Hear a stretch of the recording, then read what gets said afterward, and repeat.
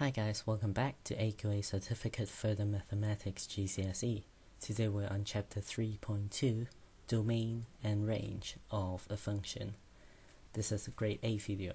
I hope you enjoy it. Let us start. So, last time we've talked about domains and range, but what are they essentially?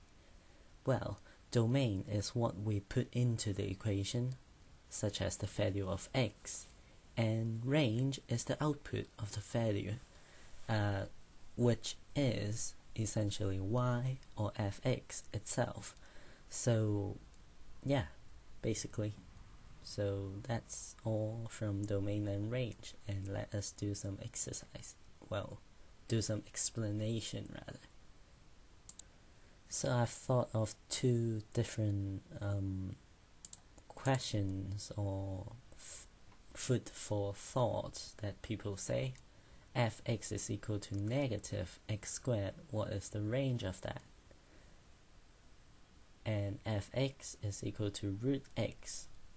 What is the domain of that equation?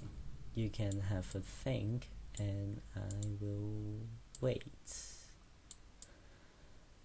Well, no, because you can just pause the video. So, yeah. Now I'll explain.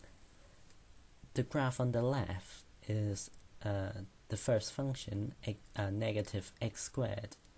And for range, we know it is the output value, which is essentially where the line is. And so, let us see, where does the line not uh, be able to reach? You'll notice that uh, because it curves peaks at 0, 0 and drops right back down. There aren't anything above 0, 0 because the curve never reaches it and never crosses it. So there aren't a value for that. If you find a solution to that, you'll find absolutely nothing. And that is normal. It doesn't work that way.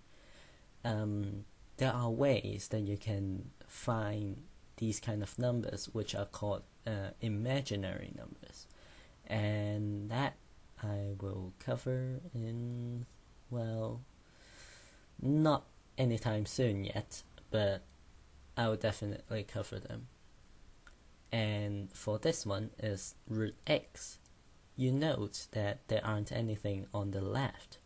This is because if x is smaller than 0, the same kind of scenario occurs that you can't have a square root of negative number. It's not a real number and it cannot be displayed on the table. This is a real number table and it just doesn't work that way. This is how the math work. And so we can talk uh, we can only give certain information about these two graphs. For the first one, the range can be of all negative number and zero, but not any positive numbers. For the uh, root x on the right, we have the domain that is anything positive but not negative. Similar kind of deal but opposite. And so um, these two can be written in form of this. So this is uh, x stands for the domain, fx stands for the range.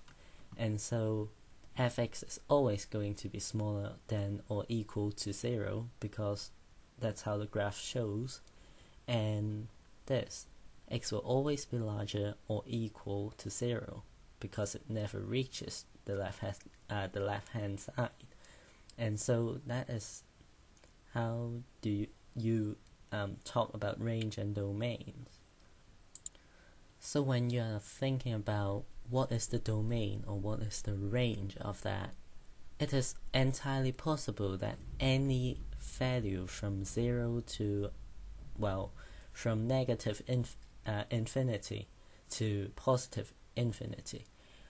Well, no, that's not the word. Uh, it's negative infinite to positive infinite. it's all um, possible. Those numbers are called um, real number, and that kind of a range or domain will be for all real numbers. And yeah, most of the time, a lot of scenarios will allow uh, things to happen, but uh, if you're trying to find a specific uh, domain or range of an equation, then you probably want to see what cannot happen ever. For example, you can never divide a number by zero. You will break math, and that is serious business. Never try that at home. That is dangerous stuff. So, yeah. Also, sketching a graph always help you to visualize, especially when you are doing uh, parabolas where you have definitely a specific range, but you need to find uh, where it peaks off or where it um, jumps back up, and so you can find out which is which. Um, so that is for finding, I think, range. So yeah, there aren't a lot of limited domains out there. X, uh, root X is probably one of those um, less common ones. Alright, as it turns out, um, this is again another um, talk through video without any exercise. Due to the nature of this chapter, I found out that the entire chapter 3 is lacking question that can be asked. And so a lot of them are theories that um, applies to other uh, topics. So it applies to coordinate geometry, co- applies to um, calculus, but this is just basic um, kind of a knowledge kind of thing. So there aren't a lot of things that you can ask about. So just remember to understand this chapter fully and you'll walk the exam. That's uh, all that I'm going to say today. Thank you guys for watching, and I will see you next time. I'm back again because I want to correct myself for saying today. No, I'm keep making uh, I'm going to keep making these videos because I need to finish this course as soon as possible.